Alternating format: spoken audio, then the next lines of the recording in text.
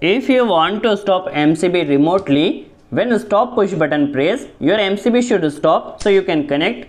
When you press the stop push button, your MCB will stop. Also you can connect it to indicator. One is the start indicator and one is the stop indicator. Okay. When your MCB will start, start indicator will blink. You can see here. Also, when your MCB will trip, so your trip indicator will blink. So you can connect a stop push button as well as a start and trip indicator with MCB with the help of the shunt release coil. This shunt release coil is made by CNC Electric. So let's start video and understand how to connect this shunt release coil with MCB. In general, if you want to start MCB, so you need to start MCB manually and if you want to stop MCB, so you need to stop MCB manually. But when you connect this shunt release coil, so you can stop MCB by connecting push button. Okay, when you connect this shunt release coil and press stop push button, so your MCB trip or stop by push button and also you can connect start and trip indicator. Okay, when your MCB will start, so start indicator blink and when MCB trip, so trip indicator will blink.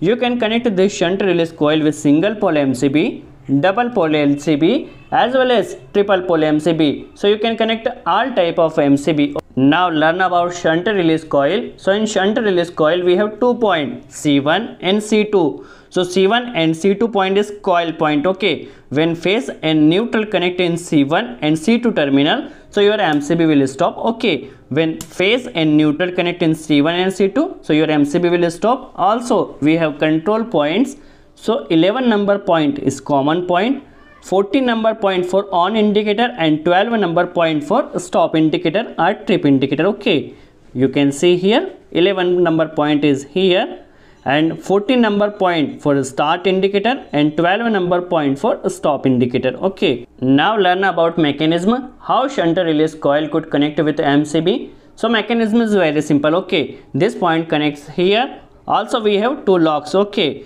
so you can connect this release coil very easily. Okay. This plunger first connect start stop button. Okay. Mechanism is very simple. Okay. So you can connect easily this release coil with mcb okay. Now release coil is connected with mcb now when you start mcb so release coil will also start. And when stop mcb so release coil stop mcb okay.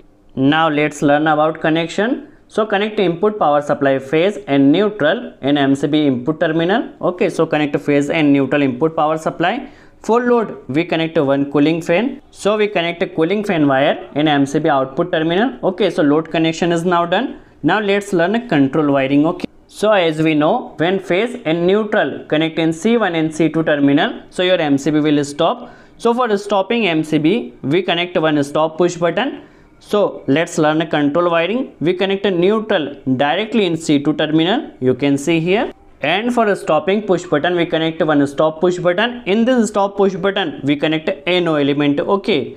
So we connect a phase wire here in MCB output terminal and connect C1 terminal. Okay. When this stop push button press, so phase comes in C1 coil, then our MCB will trip. Okay. Now learn about indicator connection. So in indicator connection, we connected two indicator. So we connect a neutral directly. First in start indicator, then trip indicator. So we connect a neutral directly. So first we connect a neutral in MCB neutral terminal. Okay, we connect a neutral in input side. You can also connect a neutral in output side. No problem is here. So neutral connects directly. Now let's learn about phase control wiring. So for phase control wiring, first we need to connect one connector in MCB and connect a common terminal which is 11 number okay? So first we connect one connector here okay? For phase control wiring so we connect one connector here. First learn start indicator. When mcb start so your start indicator should blink so we connect a 14 number terminal okay? And for stop indicator we connect 12 number points okay? As we discussed previously so for the stop indicator, we connect a phase wire in 12 number point. Now connection is done. You can see here MCB is stop. So stop indicator is blinking. Okay. When you start MCB, so load start also start indicator blink. so we can understand MCB is started. When we press stop push button, MCB will stop. Also you can see here stop indicator blinking. Again MCB start. So start indicator blinking. Okay. When press the stop push button, so your MCB will stop. Okay. So by connecting this shunt release coil, you can stop your MCB by connecting push button. Also you can connect start and trip indicator. Okay. Hope you learn all about the shunt release coil. Okay. If you like this video, please press like button. If you have any doubt, please ask in comments box. For today's enough, we'll meet next video. Thanks for watching.